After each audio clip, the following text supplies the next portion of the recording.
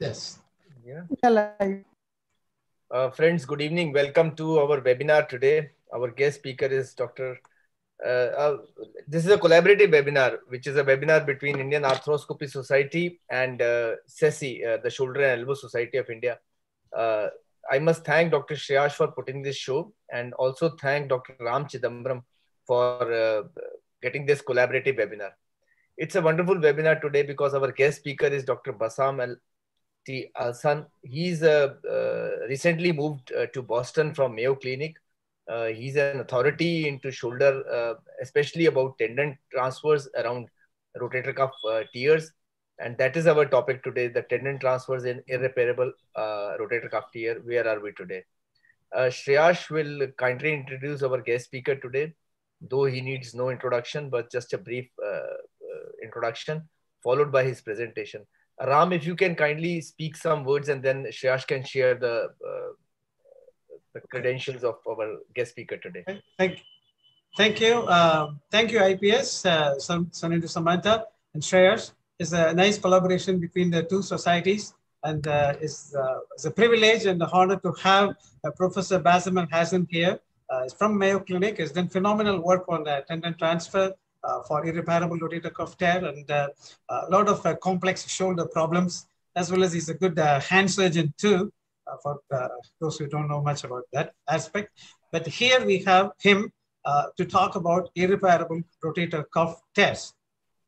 As far as irreparable rotator cuff tear is considered, traditionally we have been taught uh, latissimus dorsi is an answer for a posterior superior cuff tear. And second problem is the irreparable anterior tear, which is subscapularis retracted tear in the context of isolation or with arthroplasty, then we think possibly pectoralis major transfer. But today we have Bassam Hassan with his own ideas, he's popularized a couple of uh, famous uh, tendon transfer, and he's going to break the myth and going to show uh, light on these two uh, topic. Uh, with that introduction, I, uh, I would request Shreyash to give a formal introduction for Professor Bassam Elhassan. Thank you. Hello, everyone, and uh, thank you, Dr. IPS Oberoi and Dr. Ram Chidambaram. Really, it's an honor to have both the societies uh, together today and to discuss this very important topic on tendon transfers. Where are we today?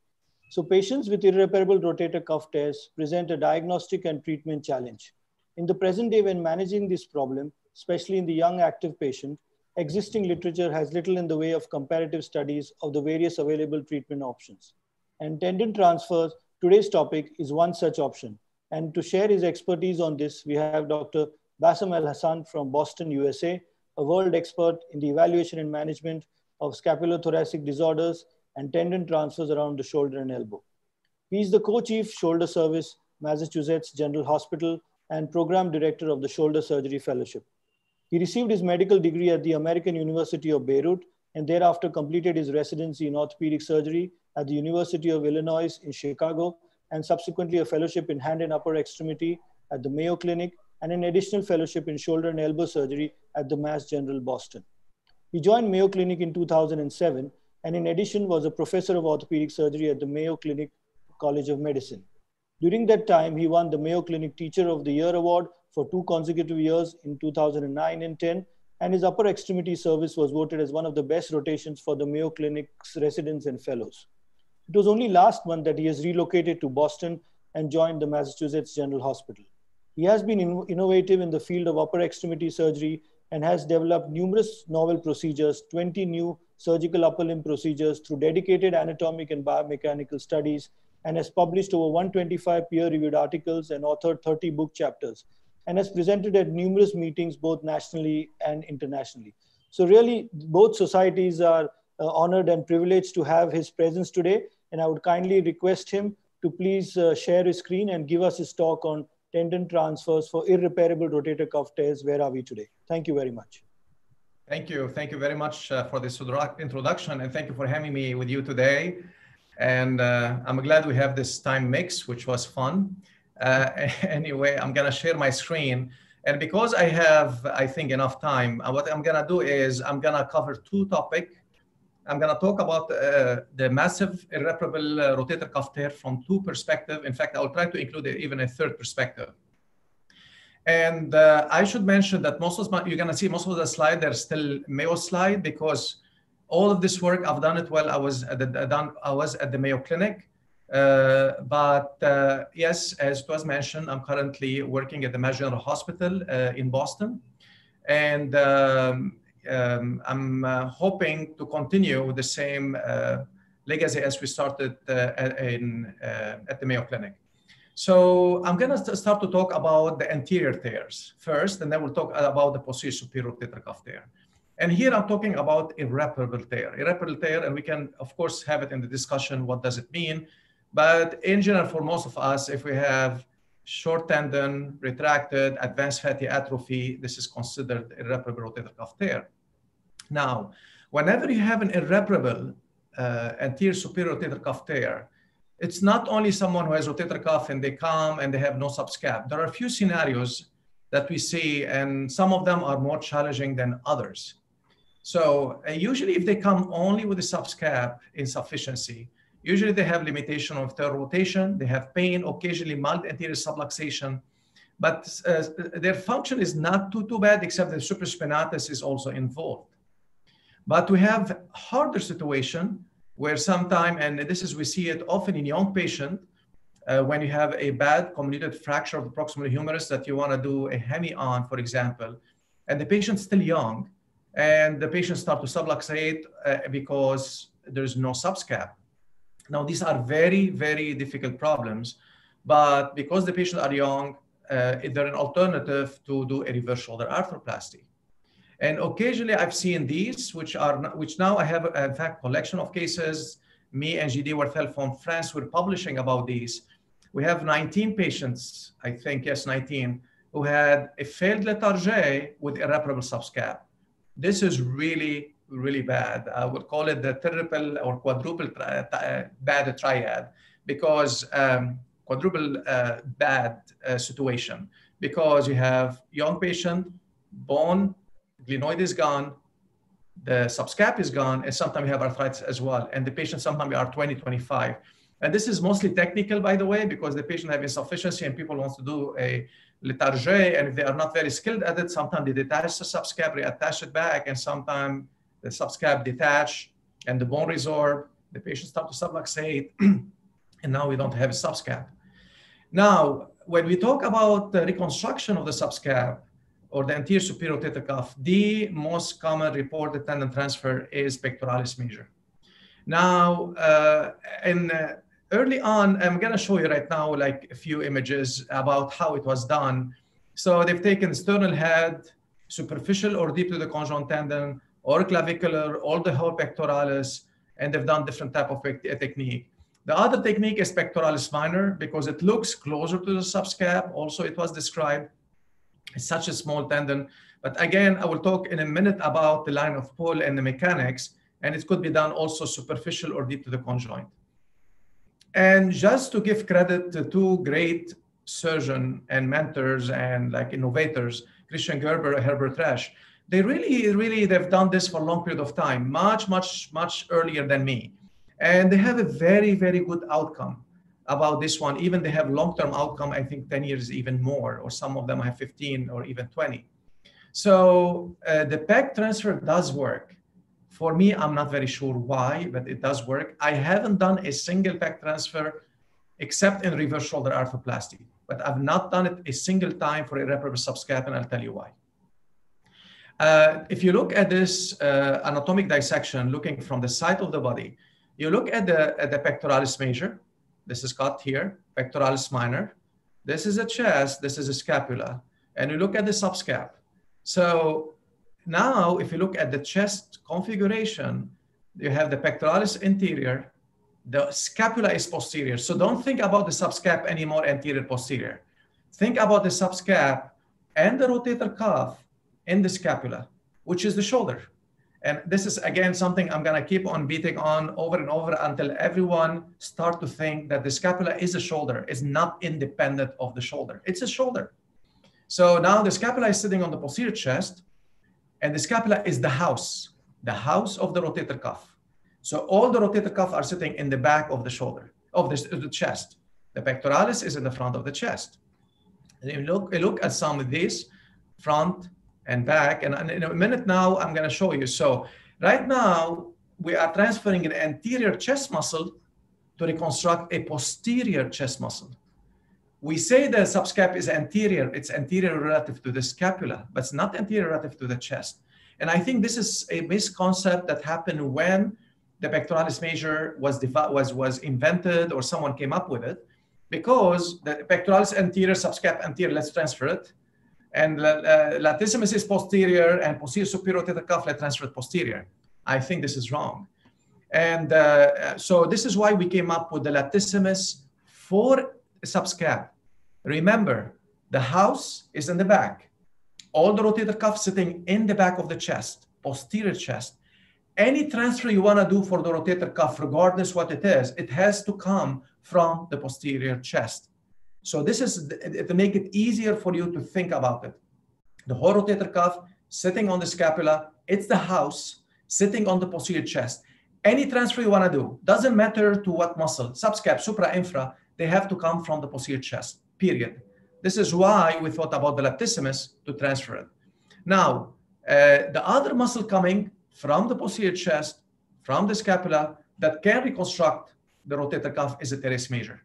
Now, if you think about it, say like, wait a second, this is confusing. We used to do latissimus, teres major, or episcopo posterior. Now you're doing it anterior.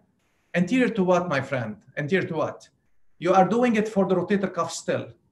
And everything is sitting on the posterior chest. The only thing you're changing the direction. If you take the latissimus posterior, you're constructing posterior superior rotator cuff on the scapula.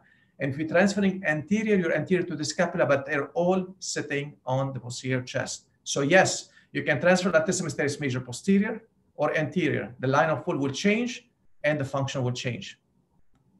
And this is teres major. If you don't have a latissimus, I sometimes transfer it anterior. Now, this is an anatomic study to show that if you try to transfer the teres major, you can definitely transfer it anterior. The only thing, if because it's a chubby muscle originating from the scapula with small tendon, when you transfer it, it may compress the axillary nerve. Whether this is of any clinical consequence, we don't know. And this happened only when you transfer the teres major more proximally on the humerus. Okay, we see this compression. Now, this is an anatomic dissection, and uh, this is I'm trying to explain to the resident and fellow. Look at the chest.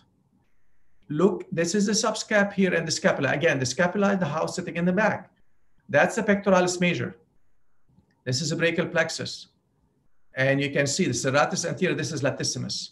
So when we talk about the subscap, this is subscap. Look at the line of the subscap. It's really bad posterior. And now you want to convince me, you want to bring an anterior chest muscle with a completely different vector to reconstruct this muscle. I honestly don't know why it works. And this I presented before over and over. So uh, when we talk about uh, transferring deep to the conjoint, uh, some authors think, yeah, deep to the conjoint to change the line of pull completely. What does it change the line of pull? Like you're still on the anterior chest, the origin of the muscle on the, the anterior chest. Now look what happened. This is latissimus transfer. This is pectoralis deep to the conjoint. Now, when you go from external rotation to neutral, which is this is not what you lose when you don't have subscap, you see this the pectoralis work very nicely. Okay. Now see what happened when you go beyond neutral. The subconjoint transfer, what's going to happen to it? Look what happened now. Your internal rotation, what happened? The conjoint tendon is doing nothing for the line of pull. It's essentially the same anterior line of pull. It did not change. So once you go beyond neutral and start to go into internal rotation, the line of pull is completely anterior and there's no change in line of direction at all. Now, if you look, this is from the axillary line, okay? The brachial plexus, that's a latissimus transfer. This is serratus, this is subscap, this is pectoralis. Now, this doesn't require much. Anyone can tell me how this muscle is going to reconstruct this muscle. It's almost at 90 degree vector. So you need the internal rotation. This is latissimus transfer causing internal rotation and abduction. Look at the pectoralis. This is pectoralis. This is latissimus. This is subscap. So I'm using this and transferring here to reconstruct this. Imagine in this one, like if you have subluxation, I feel it's going to get worse. And we confirm this uh, with, with a biomechanical study. Everything, we, every time we have an idea, we do an anatomic feasibility study, we do biomechanical study, and then we, when we, we believe in it, and this is JD, he did the work, the nice work, and he showed that the abduction internal rotation moment arm is much better with latissimus compared to pectoralis.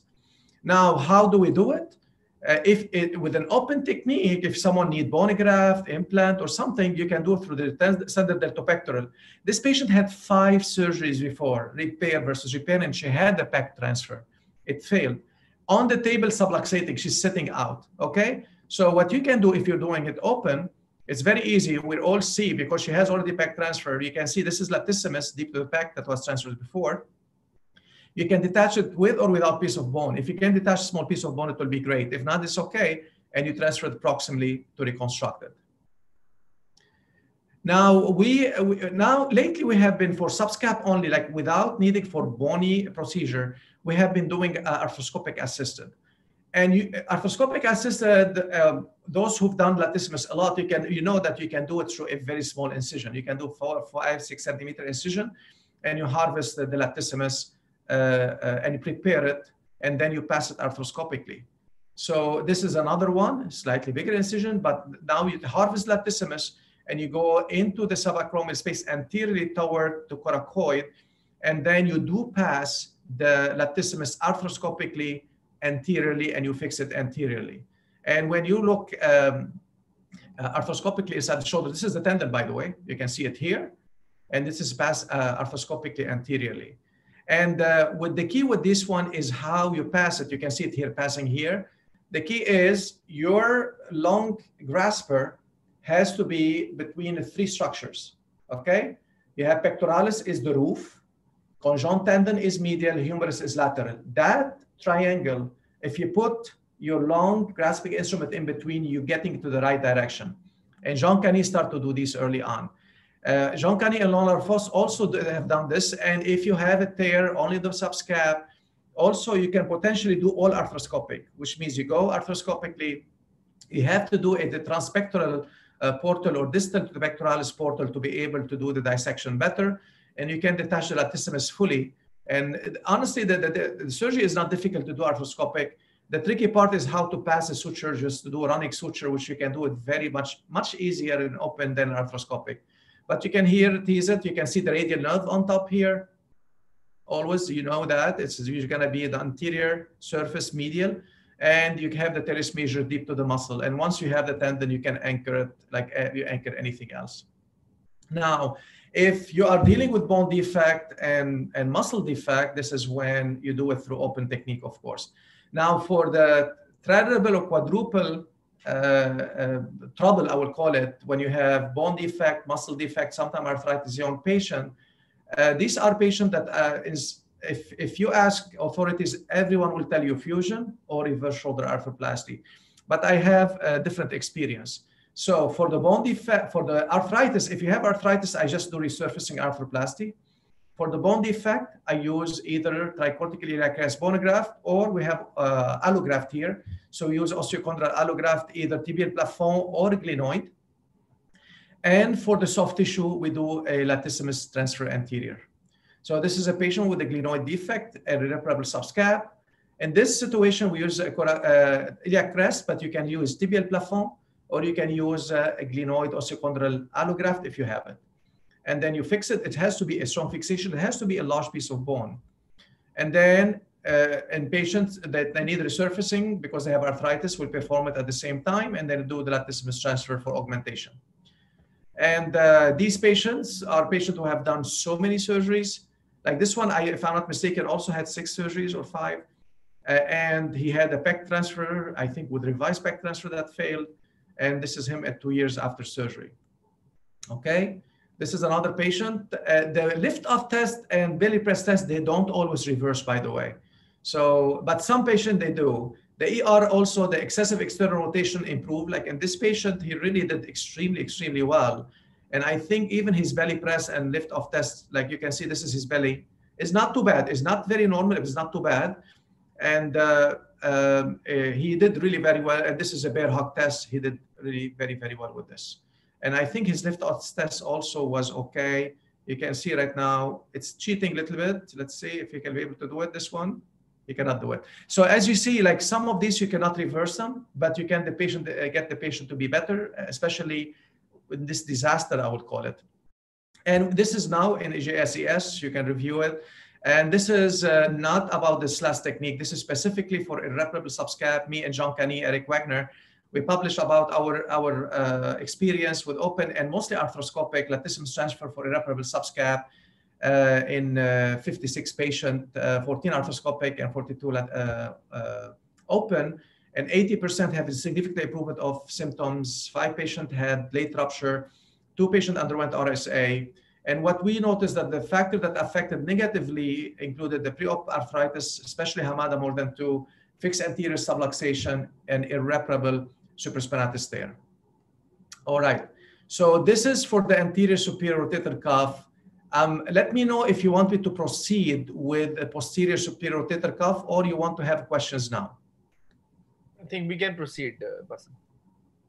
Okay. I'm gonna then proceed with the posterior superior rotator cuff. And here we go. So this one, you've heard it from me much more, but we're gonna start to talk also about principle. And I added things like uh, with Jean Kany asked me also to talk about this one in his meeting. And I thought, since a lot of you right now have heard of the lower trapezius or even done it, I'm gonna tackle most of uh, the principle of the lower trapezius and why we do it, and uh, also some of the question I get very asked very very often. Okay, so uh, muscle transfers, as you saw noticed from the first presentation, I really like to replicate a, a, a tendon tear with the tendon or muscle similar line of pull and tension and excursion. These are the principle of tendon transfer that in reality, they came around the wrist first because the wrist is even this biaxial is mostly flexion extension. So it's very easy to transfer tendons from posterior to anterior, anterior to posterior. But the principle apply the same. You need similar line of pull, tension, excursion, one muscle for one loss function, and normal strength. Now, the three factors that we can, in a wise way, control and able to, to kind of modify are the first three because we can pick the muscle. So we can change, we can be able somehow modify the line of pull and pick the muscle that has the better tension and excursion. And this is a dissection I performed, like this is of course the cleaner version of it. I've performed a long time ago in 2007 when I started working at Mayo. This is when uh, Allen Bishop asked me like, what can we do for patients with lack of external rotation brachial plexus? So we're doing this dissection and remember the idea of the house. So if you look at the scapula, the scapula is the house of the rotator cuff and you have everything in it, supra, infra, subscap. And if you look at it as a house, don't you cannot anymore think about a muscle coming from the anterior chest to reconstruct anything in this house. It makes no sense. Okay.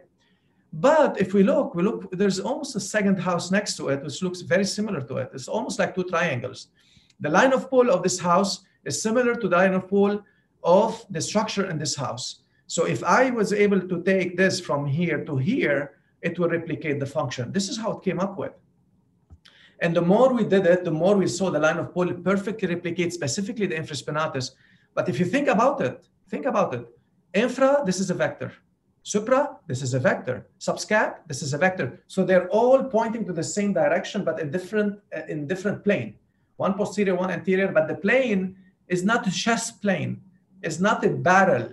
It is a small scapula, which is like thin like paper and have muscle. They're almost hugging each other. So this is how you want to think about it. If you think about how thin the scapula is, it's almost paper thin sometimes the body of the scapula, not the lateral border or medial border. And the three muscle hugging each other. If, if you remove this one millimeter of bone, the infra is hugging the subscap, is hugging the supra. Their line of pull is so similar. They're, they're, they're holding hands. So whenever you want to transfer muscle, it is for the three of them, the only thing is whether you want to transfer to one in the front or in the back, which they are but still hugging each other. And for the lower trapezius, it will be perfect for the back. Can you transfer it anterior? Yes, you can. Can you transfer it superior? Yes, you can, because it's the same vector. So this is, you can see right now, but it's perfectly better for the infraspinatus or the posterior superior rotator cuff. Now, the line of pull, we satisfied. The, for the tension, we always like latissimus because it has a huge tension and we like it. We don't need it because if you look, the latissimus excursion is a huge, sorry, I'm talking about excursion, is a huge excursion, huge. It's shortened too much. If you look at the teres major, also big, But look at the trapezius, it's smaller. Look at the rotator cuff. They have very small excursion. They're very short muscles. Why do you want to put something huge to put them for the excursion? And the lower trapezius, even if you don't see it, if you dissect it very well, this is the origin of the lower trapezius detached during surgery. This is I transferred for the triceps, in fact. But you can see the nice excursion of the lower trapezius. Now, this is satisfied as well. What about tension, strengths? You think the latissimus is huge, it means you have straight, good strength. It's not correct. If you look at the deltoid is the best tension you have around all the muscle around the shoulder. And rotator cuff follow. But if you look, you'll be surprised. Look at the tension of the latissimus. So if you think about it, the rotator cuff have high tension, low excursion. The latissimus has high excursion, low tension, the reverse completely, while the trapezius has very similar tension and excursion. So now we satisfy the three, okay? And this is a patient with, this is a bigger incision. Of course, now we go do smaller incision. This is, I think I've done it either for paralysis or for reverse shoulder arthroplasty, but I'm showing you the strength of contraction. It's strong. But when you do a harvest through small incision, you don't see the whole, the whole area very well. So now we concluded that yes, the lower trapezius is adequately satisfies all the principle of tendon transfer for the posterior superior rotator cuff. Are we done? No, because when we did the first lower trapezius uh, early on, we thought like, and this is a, everyone asked this question because we thought we need tendon allograft. You can see this is the first case I did in 2007, huge incision, exposed the muscle, put the Achilles tendon, got part of the spine of the scapula. I did the transfer because it was the first time after we did the anatomic and biomechanical study. But then, because we at that time I was dealing mostly with brachial plexus injury, I realized, and you can see again, this is lower trapezius in the lateral position, huge incision, brachial plexus, detach the deltoid because it's paralyzed. And now let's dissect the infraspinatus. Remember, in brachial plexus, the infraspinatus is paralyzed but not torn. Almost very small percentages they have tear. So the tendon is intact, and the tendon bone interface is your best interface because in brachial plexus, the bone is like butter. You try to put an anchor, it pulls out.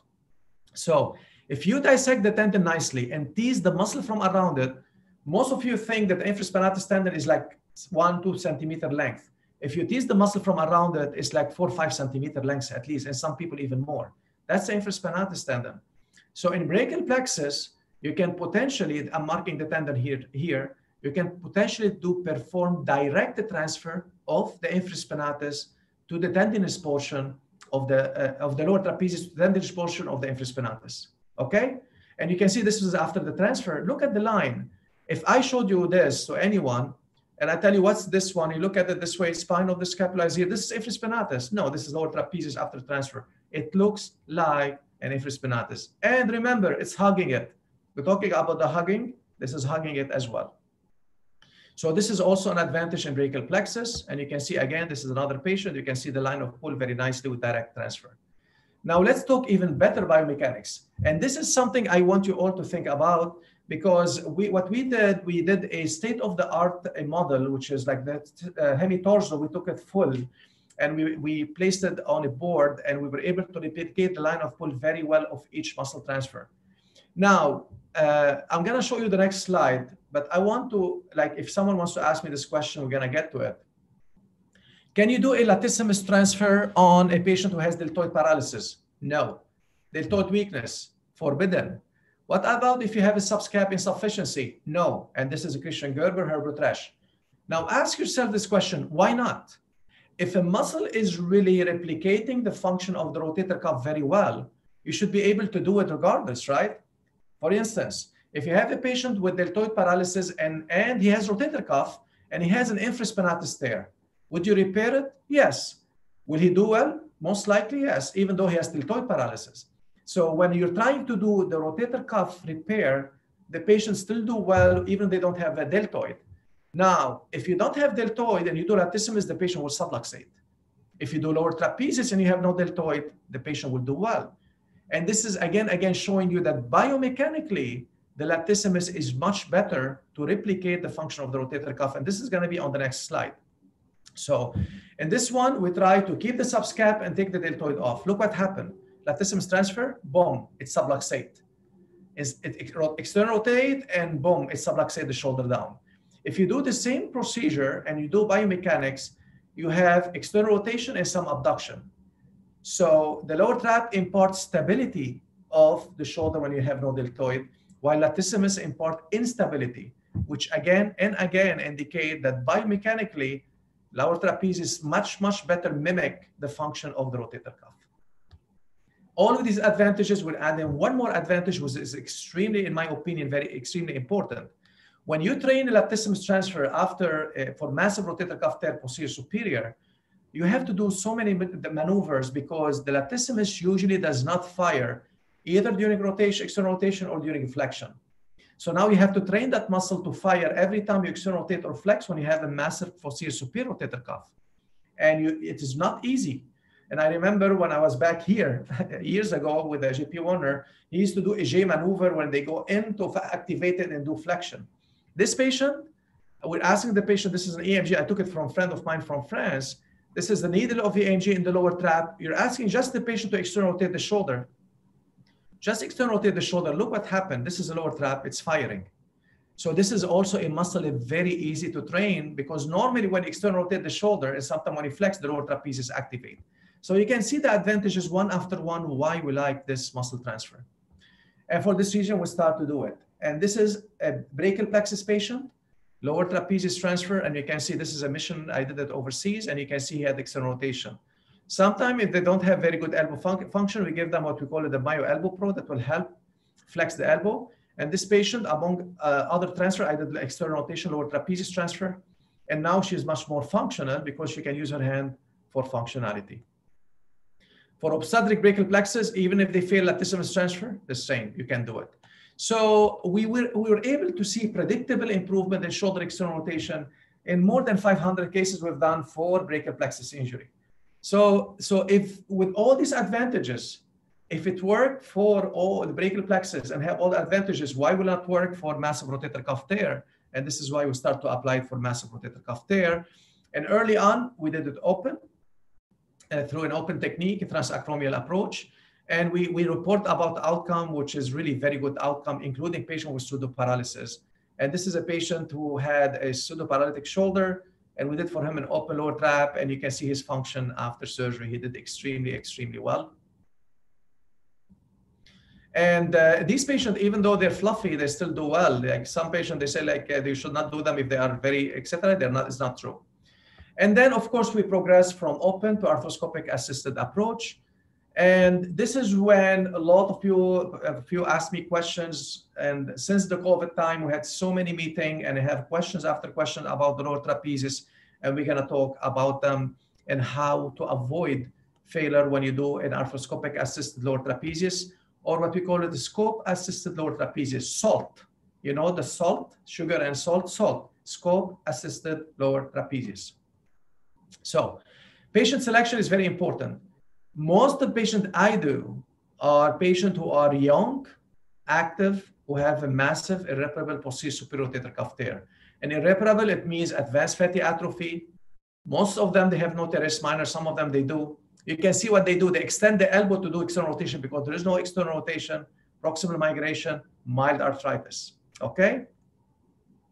Now, some coexistent factor may affect the outcome, but not necessarily contraindication for the lower trapezius. And we're going to go through one after one. And these are questions I get always asked, and I'm going to answer them right now. Can you do lower trapezius if you have subscap tear? Absolutely. In fact, most of our patients, up to 60%, when we do the SALT, scope assisted lower trap, they do have a subscap tear. And you can see here from, we're looking posterior. This is an irreparable posterior superior rotator cuff. So we're looking from posterior and you can see how the shoulder is subluxated because there's no infra, no supra. And many of these patients, they have dynamic posterior instability. And when you look anterior, you can see a almost full thickness tear of the subscap. Uh, and this is, we see it on a lot, a lot of patients. And you can see this one here. Does it affect outcome? Not really. You can repair the subscap and you do the salt and the patient do extremely, extremely well. And uh, even if the patient have uh, ER lag, they do extremely well. Now, what about an irreparable subscap? We spoke about it, okay? So if you have an irreparable subscap, yes, you can do the lower trapezius. However, you cannot do it by itself because now uh, for the first couple, you're reconstructing the posterior, but not the anterior. So you remember that house need to be balanced. So if you transfer posterior, you need to transfer anterior to reconstruct this. So in this case, we do the parachute.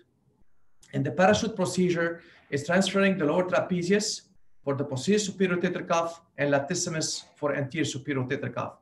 And uh, patient, not all of them, they get home run, but these are patients that they really were heading for reverse shoulder arthroplasty.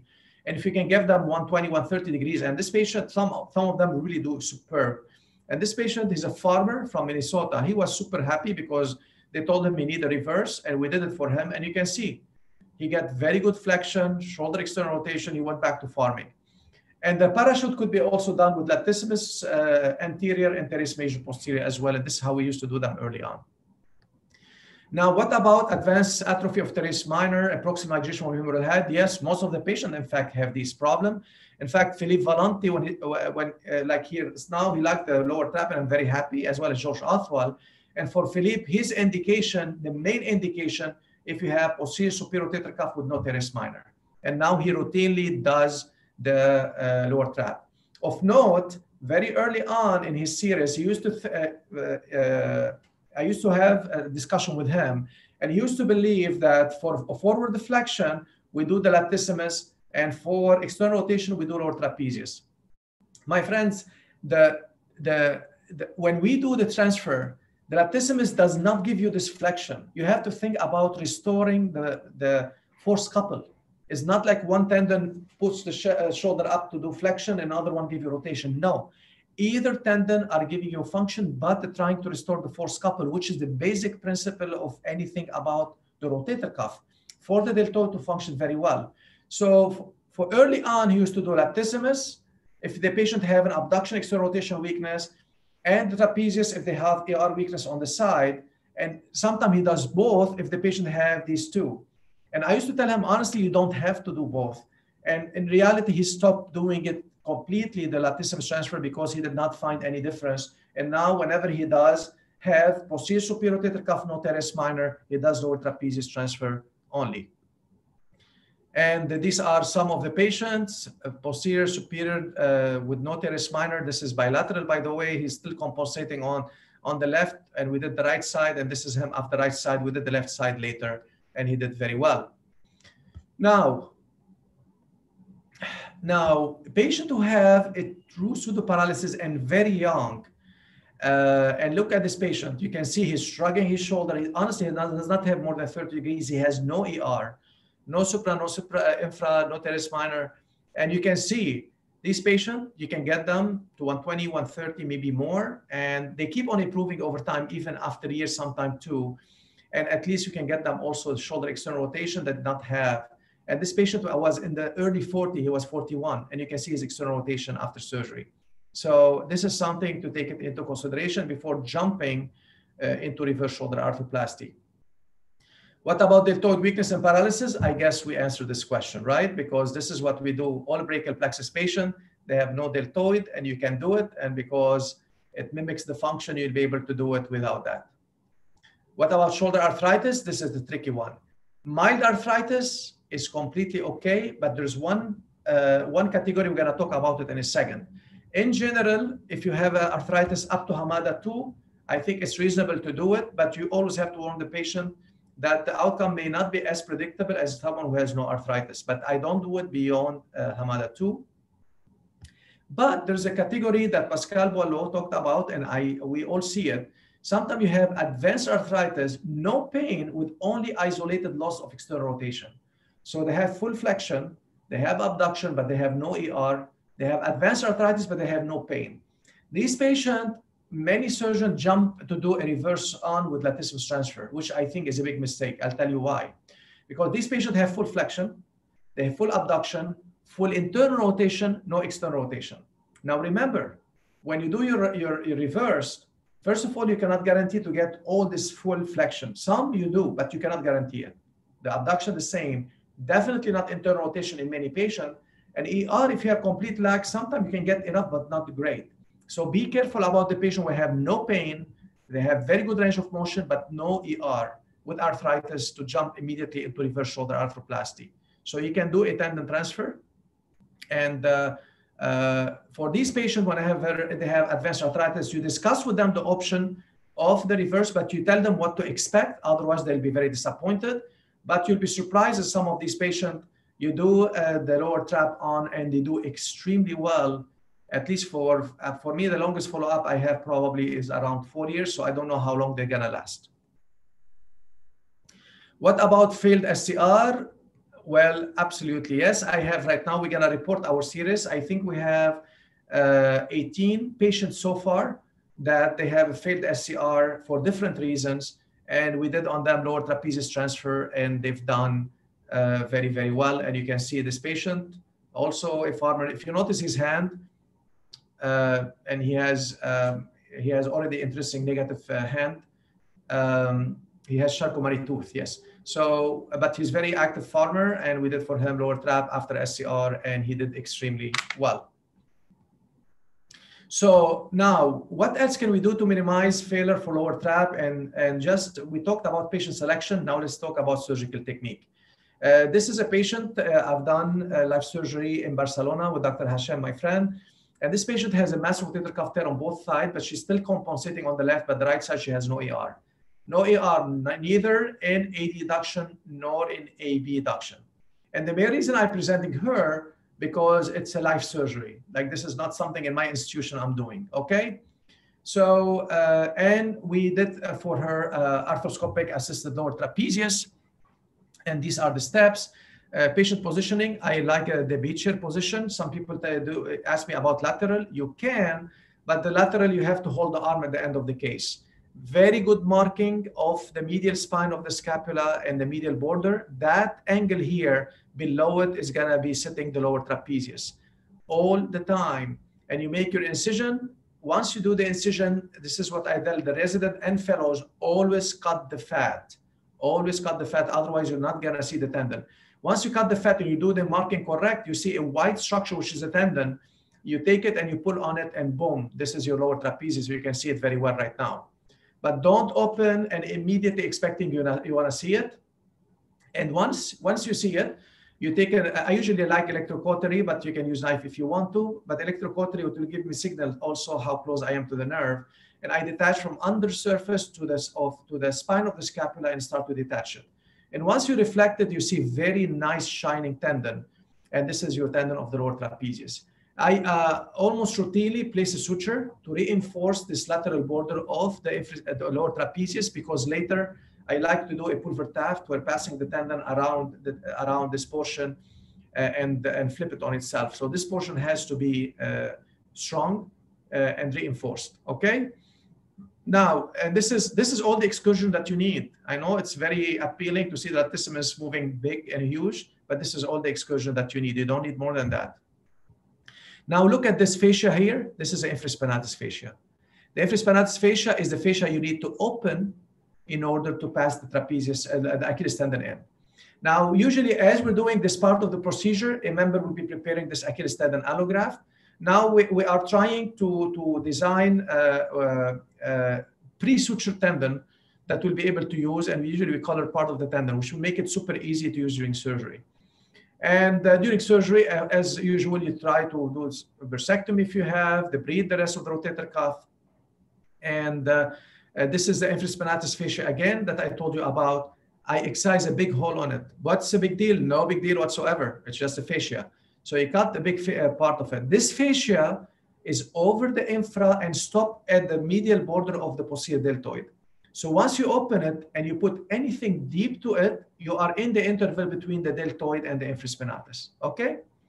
So now once you open this fascia, you pass the graft, it's going to be between the infra and deltoid, and you take it to the subacromial space. And uh, because it's already pre-sutured, you sutured it. Once you are, uh, the, the tuberosity is prepared, you put a, uh, you, you anchor it anteriorly. For the posterior superior rotator cuff, we anchor it on the anterior footprint of the supraspinatus. For infraspinatus only, we enter it to, on the lateral border of infraspinatus.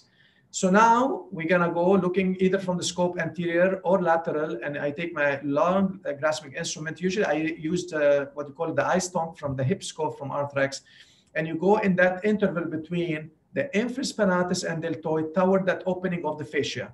And you can see here I'm pushing and boom, here it is. And should not be like struggle and push and etc. It should not be. It should be a smooth passage, but you may have to push a little bit because the space at the angle between the posterior acromion and the infra would be slightly uh, tight angle. This is why you have to push it below, beyond it, but don't push through the muscle. And now uh, you push the graft in this opening, but and now again, remember, this is going between the deltoid and infra. And you can see the graft coming in with the suture in it. And here it is easy because you're prepared and you have the, it's pre-sutured. You take uh, the medial ones and you anchor them. And you can see this is the coloration of the graft. You can anchor it first on the anterior medial footprint of the supraspinatus.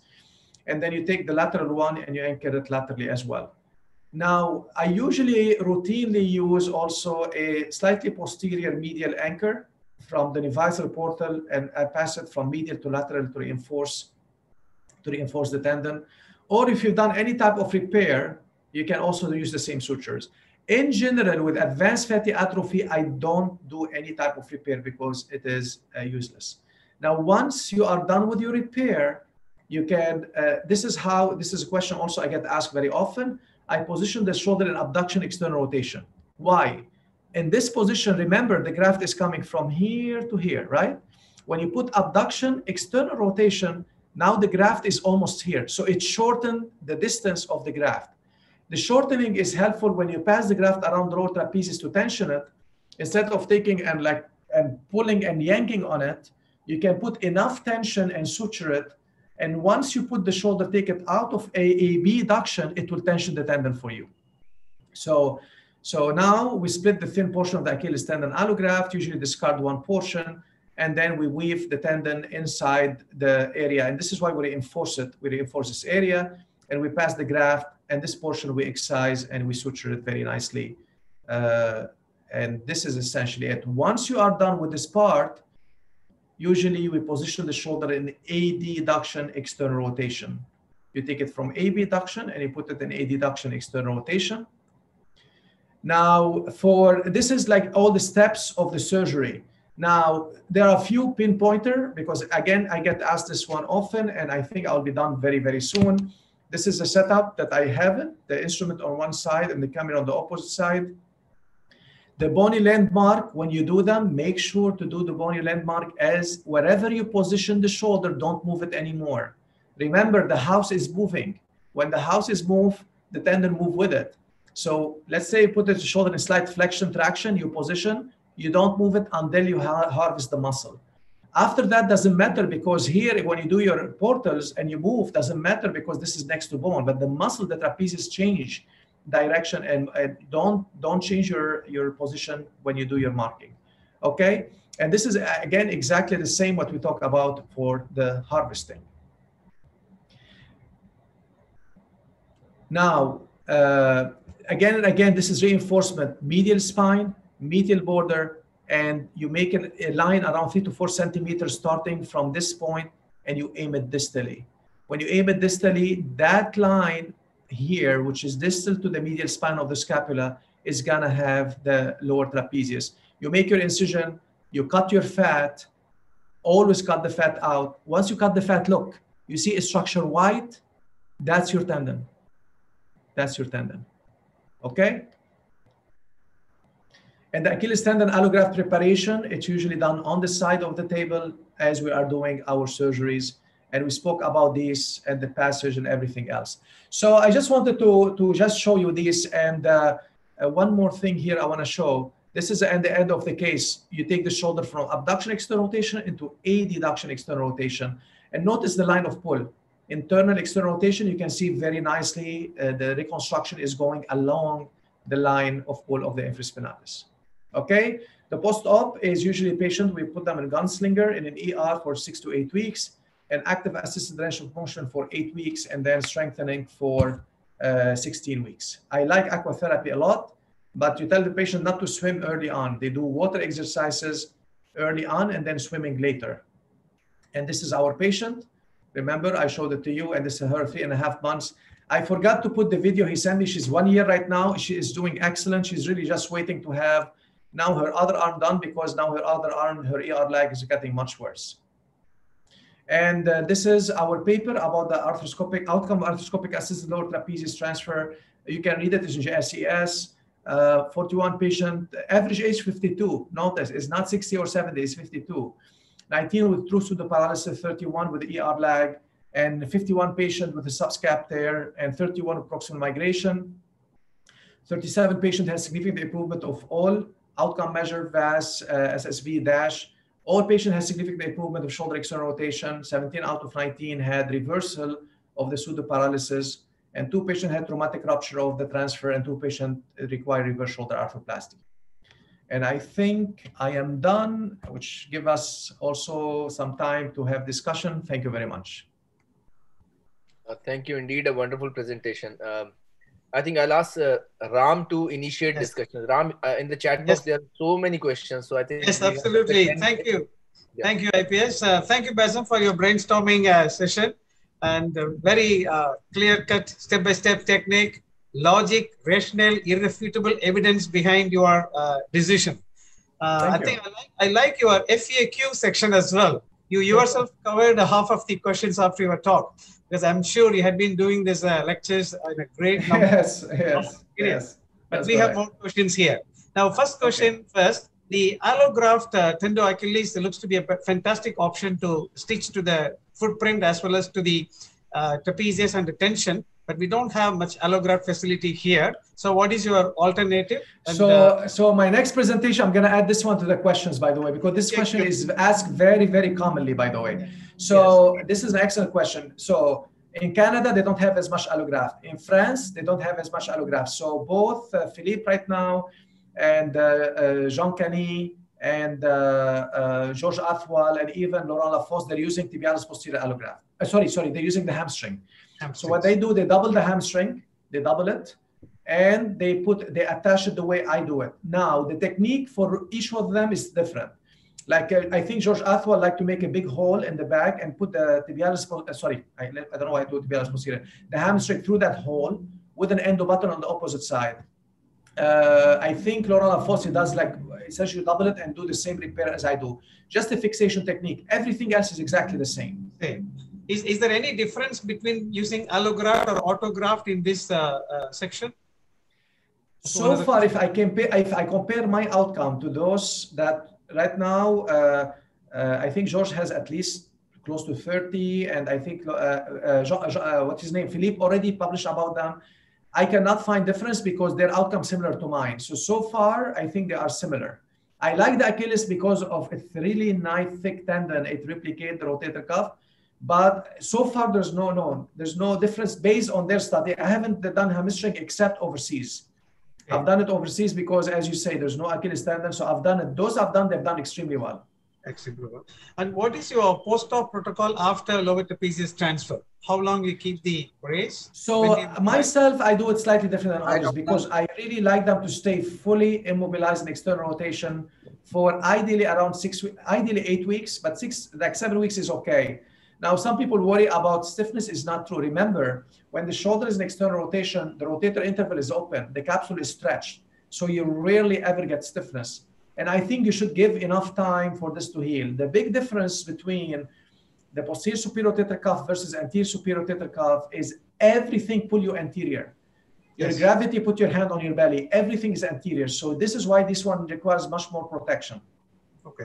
For, for a case with the irreparable cuff tear with the severe pseudoparalysis, uh, I think I know your answer, but there is a question from the audience. Can we combine LT transfer with uh, some other uh, technique like rerouted biceps or SCR? Do you do that? Or uh, you'll be enough to address even very bad, massive uh like so pseudo, uh, you know, uh, you know uh, uh and this is a question. We, we had a webinar with uh, with with arthrex with some of my friends who do like who do scr a lot. For me when you already have a technique that is working and it's dynamic transfer yes. I don't have a reason to do anything else. Yeah agree. Because especially uh, especially especially when you evolved it as you notice right now when we show the technique the technique is not difficult. In fact yesterday one of my friends sharif he called me.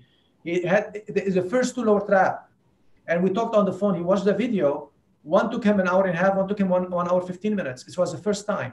So once you do the technique because you develop steps they're easy the complication is low I, I find no reason to do anything else. And if you think about it, if you've done SCR, that's easier than SCR because you pass the Yes. graft and you anchor, it's easier.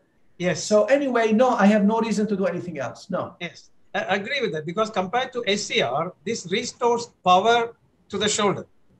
That's the right. SCR doesn't restore power, whereas uh, lower trapezius stands for restore external rotation power and is dynamic. Now, my question to you is that if you have a very bad uh, uh, repairable cuff tear, but there is a high risk of re-rupture uh, due to some other reasons, would you add this lower trapezius transfer as an addendum to a cuff repair? That's an excellent question. Yesterday, yes, and I, I I got this question yesterday as well from one of the surgeons. Absolutely, it's a low risk surgery, and if you feel you're not sure, like one of the patients yesterday they've done, they've done twice repair and it failed, and they have they want to do a third time, and they want to see like maybe I can repair it this time. What's the point? Augmented, and you're always protected. So yes, I will do it as an augmentation if I have a doubt about certain repairs. This uh, coming back to uh, subscapularis uh, questions. Ram, If you have a, yes, Dr. Ram, Samanta, Samanta. Calcutta. Yeah, because hi, Elhassan, this is Dr. Samanta from Calcutta. The question Yes, because, because because joining me, Dr. Ram and IPS was discussing because we, when you read your papers, yeah, probably your refracted at yeah, chronic subscap is a one of the contraindication of doing this lower subscap, uh, lower uh, trap transfer. So during your talk also you have uh, talked about the subscap. So what is your take home on the subscap tear? About if you have an irreparable subscap, Yes, yes, yes, yeah. Yeah, I, I mentioned it in presentation. I, I. I mentioned it among one of the reasons. So if you have, and uh, I have at least uh, around 20 patients right now, who I call it the pan rotator cuff tear, which is posterior superior, anterior superior, and irreparable. And I do the parachute procedure, lower trap from the back, latissimus from the front. The only among these patients, I think 16 they've done extremely well. The patient that they don't do very well are those who have this tear, this kind of tear with a frank fixed anterior superior escape. If you have a frank anterior superior escape, no matter what you do, they fail. But if you don't have it, if it's, it's like a dynamic instability is going everywhere, but it's not frank escape, if you do lat transfer anterior, lower trapeze transfer posterior, they do very, very well. Bassam, do you dynamically examine these patients under a fluoroscopy to see whether the head is reducing well before surgery? How do you? No, no, no. This is a good question as well. Not really, not really, because uh, the proximal migration is really a problem. And during surgery, when you put them under traction, you, you will you will know it. You know if it's working or not. If not, and this is something to be honest with you, I learned it from uh, uh, what's his name uh, from uh, uh, I will remember. Um, he savoir, body savoir, I perform inferior uh, capsule release. Okay, okay. So Inferior that, capsule release, yes, but this is not as common except those who really have fixed proximal migration. So, Uh-huh. So, uh, many more questions. any more here. questions? yeah, Yeah, moving, there are, there, there are. moving to uh, subscapularis irreparable tear, uh, where you do, as my question to you, uh, basically between doing open technique and scope assisted technique, Yeah. which one is preferable? Because with the open technique, you need to uh, uh, damage the pectoralis major to access to the latissimus dorsi, isn't it? Yeah.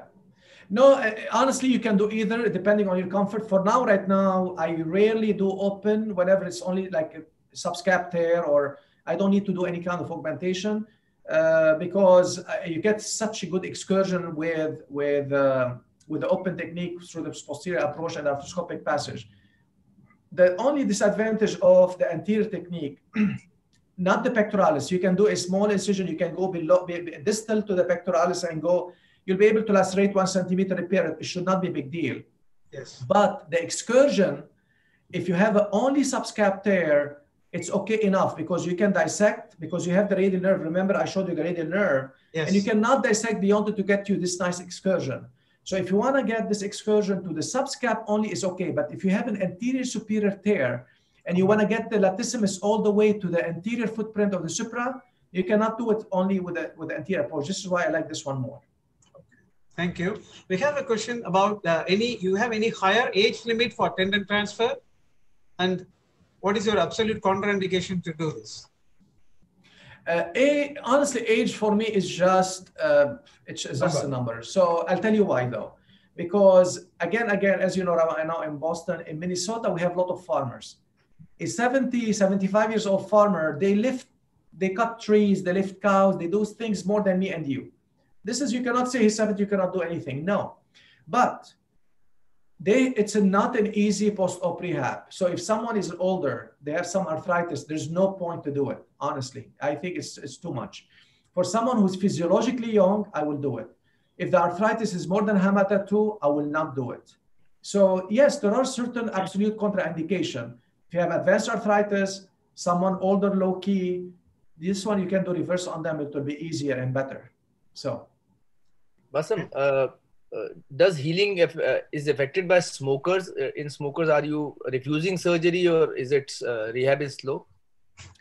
Uh, th- that's also a good question. To be honest with you, I haven't had issues to go back and see, ah, this is smoking, this why it failed. Those that failed, mostly it was rupture. It was rupture because the traumatic rupture. So I haven't had uh, issues without like with this. Now, to be also fair, not every single one. Remember, Minnesota, they go and travel to Minnesota, they cannot come back. So they're doing well. Usually, they don't come back. It will be great if we'll be able to get an MRI on every single one over time to see how they do. Those who have done MRI on all of them did not I did not see any detachment, except those who fell and they ruptured the tendon. So I don't I, I don't know the answer to this one because I did not look for it. As a question regarding if you want to decide to do open approach the entire procedure, what will be your incision over the shoulder? How do you approach it? So for the anterior approach is if this is mostly for the subscap, which is for the subscap, you do your standard deltopectoral, retracted the deltoid, the subscap is torn. If you try to dissect and find the subscap, it's fine to just to close capsule, it doesn't matter. And then you have two ways to do this one. One, if you if you get enough experience, you can make the incision distal, dissect the pectoralis proximal and distal and retract it in internal rotation. You can see the latissimus deep to it and you can detach it without detaching the pect. Or early on, if you haven't done many of these, very simple, just cut the proximal maybe centimeter of the pect, keep it cuffed to be able to repair yes. it. And then the distal to the leash, distal to your sister, you're gonna find the latissimus. In fact, in most of our shoulder replacement, you see it. And yes. sometimes you're illustrated, we don't know what. It's yes, that's distal. We look at the capsule, it's just distal to that. It's very easy to find. The interval between latissimus and teres major is much easier to find proximal. Yes. If you have a conjoint tendon, it's usually more distal than proximal. So. Thank you. Uh, Hello. Any, Yes, I'll give you. I'll give you. I'll give you two more minutes. I have to run. Yeah, yeah, but last last question. Yes, Roshan. Yes, yes, Roshan. Yeah, is uh, uh, it is just related to the process of degeneration, which has already been uh, started, and uh, how easy to stop that degeneration in a reconstructed tendon, especially when you use allograft for your tendon transfer. So do you see a similar kind of degeneration in your tendons, especially in an elderly patient? Oh, good question. You're talking about the Achilles tendon. Yeah. Yeah. So uh, those who I went in, like, so I have uh, the longest follow up I have is on a patient, who, the first patient I've done, which is like 13 years ago almost, like now. And uh, that patient still have external rotation. He had nothing. He's paralyzed. Like this patient, there's no it's not like you have some teres minor, this one has external rotation, has reverse lateralized. So the tendon, and we did an ultrasound. So at 13 years or 12 years, the tendon was there. Now, I have a number of patients, two patients, I think. I had, no, two, yes, two patients. One with biceps and one who had bicep tendinitis, uh, did not have biceps pain early on, but developed biceps pain after three years. So I went in just to do bicep tenotomy and look at the graft and took a biopsy. And another patient who has Hamada 3, she wanted still have the lower trap. I did it. She did extremely well for three years also. And then I did the reverse on. And this patient, I was able to see the lower trap three years after surgery, and I took a biopsy. The biopsy showed that they have living fibroblasts inside the tendon. Remember, this area, the, the big advantage of this area is it is so vascular. So, what's the difference between the Achilles tendon and the SCR, for example. The SCR, you're sitting the graft in the synovial fluid on the glenoid, on the humerus and you're trying to anchor it. With the lower trap, you are trying to anchor the broad on the tuberosity, and then it's passing between infra and deltoid vascular area and going attached to the trapezius vascular area. So it is surrounded by kind of like vascularity. And so I really think this is why it lasts and this is why it does very well and does not degenerate easily. But I think now I know much more people are doing the technique and we're gonna start to collect this data more and more. Like I have some of my friend doing uh, MRI at one year and two years, and we're gonna do the same. We're gonna start to look into this. But luckily, I would say so far, I haven't seen major degeneration. Again, the one I've seen are ruptured, but no degeneration. But we should look into this one. This is a very good question. Perfect. Thank Thank you. Thank Okay. you. So Thank I you, there is one more question uh, in the chat box. Uh, Raghu has asked, uh, when you do an open approach for lower trapezius transfer, what is your incision over the shoulder? So I'm sorry I did not show it because of the timing. So what I usually do, I do a saber incision around Okay. the lateral acromion, and I do an osteotomy five millimeter. I'll tell you why. You can do through a split approach, but you know I deal with deltoid paralysis all the time and stuff. The split approach protect the axillary nerve a lot. Uh, sorry, the, the, the osteotomy protect the nerve because it relaxes the deltoid and it gives you huge exposure. And now the deltoid has a small piece of bone that you can repair back to. This is what I usually used to do. But if you want to do, you don't want to do any repair, just hook the tendon. You can do an anterolateral incision, just hook it and pass it by, and you can fix it this way as well. Perfect. Perfect. Okay. Very good. man. Last burning Thank you questions? Very much. I mean, it's, it All was right. indeed a All right, guys. Thank you so much. It went. I'm glad it went Thank well, both. and we'll see you. We'll see you around. Hopefully, we'll see you in person soon. Absolutely. Bassam. Thank you. All Thank you right. very. Thank you, Yes. Take care, everyone. Bye bye. Oh, I like the clap. Good. Thank See you. see. Good. Thank you. Bye. Sandeep, thank you for putting up this show. Uh, wonderful, Ram. Uh, Thank you. Friends, Thank you, yeah, IAS. Thank you very much. Uh, uh, friends, we have a very interesting webinar tomorrow uh, on a topic which has not been discussed at all in any previous meetings. And we are going to talk about core muscle injuries. Uh, uh, the presentation is essentially a lot about sports medicine. We have experts of sports medicine joining in tomorrow. Do live, uh, do join in IAS YouTube channel at 7 p.m. tomorrow. Dr. William Meyers and Dr. Alexander are going to put up a good program, and the program is moderated by Dr. Dinshaw Pardiwala. Uh, this would be a program where we talk about core muscle injuries, how to uh, the surgical anatomy, how to radiologically see it, how to diagnose it, and the basic rehabilitation principles. So do uh, join in tomorrow, 7th November, Saturday at 7 p.m. on IAS YouTube channel for this wonderful webinar.